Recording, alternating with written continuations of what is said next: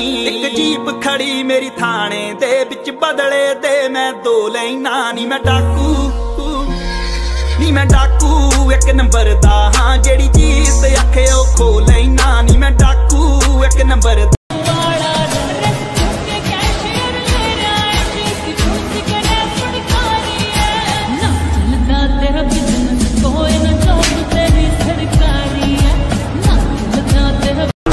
Sir चल। Sir sir sir sir अरे sir कहा लेके जा रहा बहुत बड़ा गुंडा है तू। तूने किशोर को क्यों मारा बोल। क्यों फट गई क्या सर? हो, हो? जबान लड़ा रहा है तू।